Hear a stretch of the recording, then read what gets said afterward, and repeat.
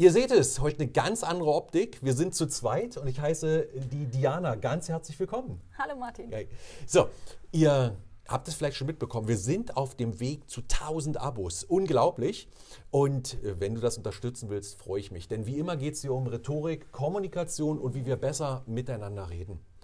Mein Name ist Martin Rettmer und heute, heute geht es mal um die Kommunikation im Alltag. Und Achtung, die Kommunikation unter Frauen.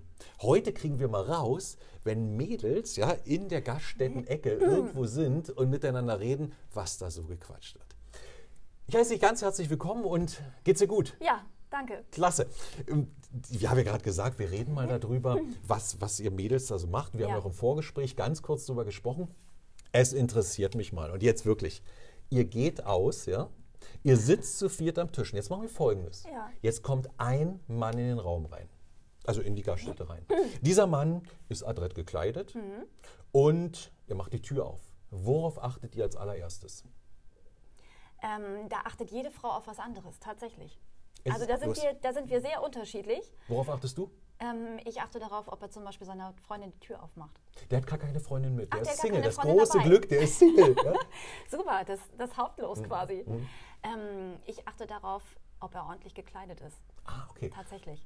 Achtung, Kleidung hatten wir gehabt. Schau mal rein. Hier oben Video erster Eindruck. Einfach hier oben verlinkt erster Eindruck. Da haben wir natürlich Kleidung gehabt.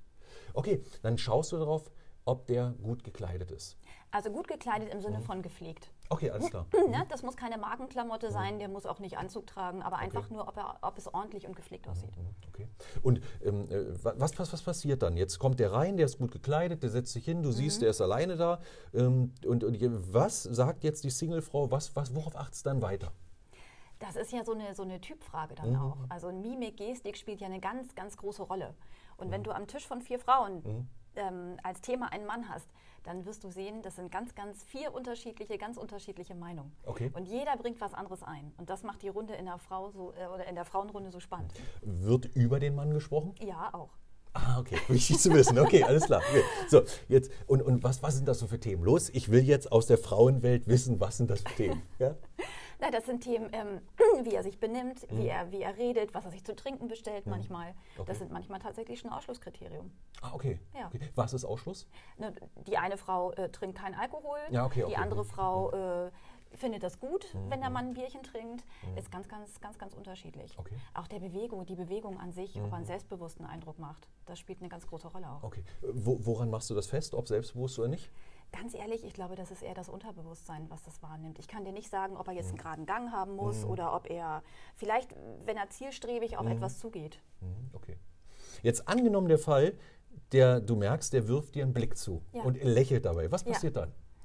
Man lächelt automatisch zurück. Ah, ja, okay. Wenn er der Typ ist, Mhm, okay. Mann, den man bevorzugt, ähm, Ja. ja. das ist natürlich schmeichelhaft. Ja, ja, Spiegelneuronen. Ne? Spiegelneuron wisst ihr, ne? wenn du in eine Richtung lächelst, lächelst du in die andere Richtung. Ja, so ist es. Okay. Aber das finde ich spannend, weil das Interessante ist wirklich, ähm, dass sich ja Männer nicht trauen, in solche Gruppen reinzugehen. Wenn, ne? Das heißt ja immer, ähm, trenn die Kuh von der Herde. Ja, du genau. kennst es von Two and a Half Men, ja.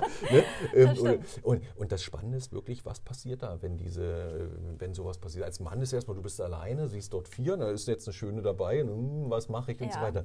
Würdest du dem Mann empfehlen, eine aus der Gruppe anzusprechen? Ich würde dem Mann empfehlen, auf jeden Fall auf den ganzen Tisch zuzugehen, wenn Okay. er eine Frau im Auge hat. okay. Weil das, ähm, wenn die Freundinnen mit im Boot sind, ähm, hat der Mann schon gewonnen. Okay. Das ist so. Ja, oder natürlich, wenn er alle vier gewinnt, kann er sich die beste aussuchen. ist auch noch was, ja. Das ist dann im anderen Video Okay, Thema. alles klar. Okay, ja. okay gut. Nein, aber weil, weil das finde ich immer so interessant, weil du kannst es ja, wenn wir im Eiscafé oder sonst wo sind, kannst du ja solche Szenen beobachten. Ja, ne, du kannst es in einer Gaststätte beobachten, Disco wahrscheinlich auch, jetzt ewig nicht mehr in der Disco gewesen, aber das ist ja sowas. Ne? Leider trauen sich viele, viele Mhm. Männer da nicht ran. Warum? Weiß ich nicht. Vielleicht, weil sie das Gefühl haben, gleich beurteilt zu werden. Mhm. Beurteilt und verurteilt vielleicht auch. Ja, das Spannende ist, es gibt wirklich Studien, die trauen sich deswegen nicht Angst vor dem Korb. Ne? Guck mal, Ja. Mhm. du, du, du blamierst dich vor vier Personen. Und das ist so, du gehst dahin, sagst, hey, wollen wir tanzen, kann ich dir ein Getränk ausgeben? Und dann kommt Nein. Und dann ist sofort ein, ich bin abgewertet, ich bin blamiert. Das ist das Spiel. Immer vor der Zurückweisung. Das Aber ist die mal Angst. Mhm. kleiner Tipp für die Männer, äh, traut euch ruhig. Weil die meisten Frauen, 95 Prozent, nehmen es auch, wenn der Mann einen Korb bekommt, aber immer als Kompliment.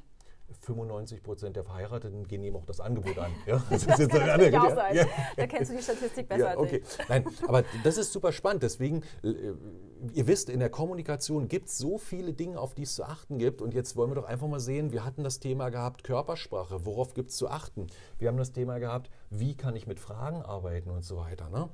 Aber da seht ihr mal, wie das wirklich wirkt. Und hier geht es wieder darum, habe Selbstvertrauen. Wenn du nochmal gucken möchtest, Selbstvertrauen am Telefon, Selbstvertrauen, ich mache dir hier oben nochmal ein Video rein, dass du nochmal schauen kannst, ob da was für dich dabei ist, weil das ist ungemein wichtig, hier zu wissen, hey, immer wieder rangehen. Ich sage zu meiner Tochter gerne, wenn du tausend Spaghettis an die Wand haust, bleiben garantiert welche hängen. Und genauso ist das, je mehr Ansprachen du machst, desto mehr bleibt hängen. Ob bei Kunden, ob bei Frauen, was immer du möchtest.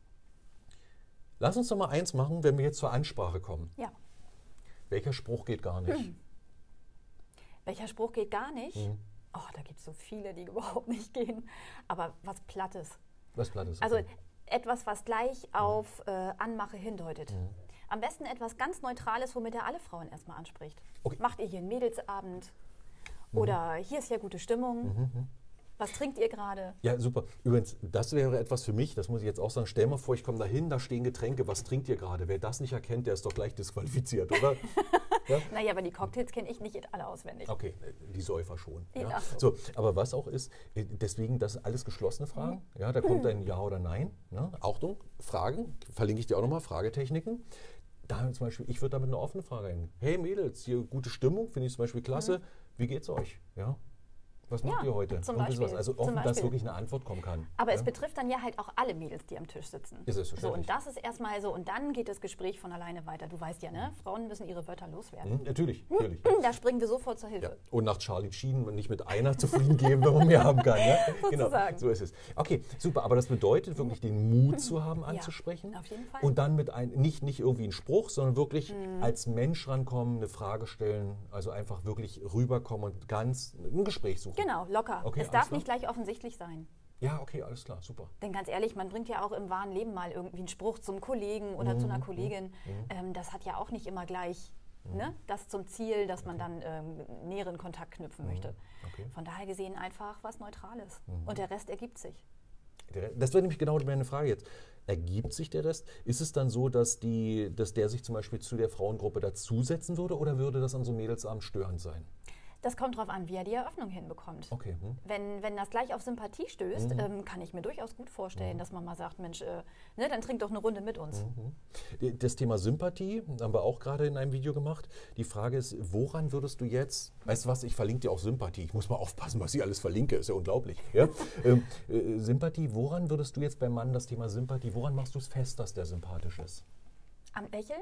Okay. Am Gesichtsausdruck. Mhm. Und was mich immer ganz beeindruckt, ist die Körpersprache. Mhm, okay. Ob er nervös ist, mhm. nervös macht immer, das ist jetzt kein Hinderungsgrund, mhm. um Sympathie zu empfinden, mhm. aber es macht halt einen unsicheren Eindruck. Klasse. Richtig cool. In dem Video sofort sympathischer wirken, was ich dir eben verlinkt habe, ja, war genau das drin. Lächeln. Dann denk dran, ähm, was ich gesagt habe, gleiches Maß schafft gleiches Gefühl. Ja? Symmetrie schafft mhm. Sympathie. Wenn du sicher bist und, das, und ich hüpple rum, dann ist die, die Symmetrie ja. nicht gegeben. Ja? Wenn du da absolut sicher und entspannt sitzt, möchtest du genau das Gleiche haben. Ja, und das andere war, dritte Punkt war noch, sei kein Schlauschiss. Ja, das ist auch ja. sowas von Dingen alles besser ja, wissen. Ja, das ist auch mal sowas. Ne? Das Gespräch ja. schnell beendet. Ihr, ihr, trinkt hier diesen Cocktail, ihr wisst, dass da das und das drin ist und das macht schlechte Haut ja, will genau. kein Mensch. Ja? Rede nicht über Nierenprobleme am Tisch. Ja? So. Aber das ist spannend, oder? Ihr seht, die Videos, die ich mache, sind gar nicht so schlecht. Also deswegen, wenn du sagst, hey, ist interessant, immer wieder denken, abonnieren, dass du immer auf dem aktuellen Stand bleibst. Aber jetzt machen wir weiter. Er ist sympathisch. Mhm. Welche Frage, jetzt gehen wir richtig rein, welche Frage muss er hm. stellen, damit er ein Date bekommt mit der Frau? Naja, erstmal bleibt ja abzuklären, ob ich überhaupt verfügbar wäre. Bist du. da steht schon fest. Ja, okay. das ist jetzt Voraussetzung, ja. Ganz ehrlich, eine ganz ehrliche, ähm, offene, oder eigentlich ist es ja eine geschlossene Frage. Mhm. Ähm, die ehrliche Frage, ob man sich nicht mich vielleicht mal auf einen Kaffee treffen könnte. Schön, okay. Einfach gerade, straight mhm. und ähm, wenn der Mann mir sympathisch mhm. ist, bekommt er ein Ja. Okay. Ich schlage vor, mit dem Ja steigen wir aus. Mir ist wichtig, du hast mal mitbekommen, was du alles erreichen kannst, wenn du ja, wenn du einfach offen kommunizierst, wenn du sagst, ja, ich weiß, was ich will, Ich will ansprechen, ich bin mutig, mhm. dann sympathisch sein. Video habe ich dir verlinkt. Und jetzt wissen wir zumindest ein bisschen besser, was in der Frauenwelt los ist. Okay?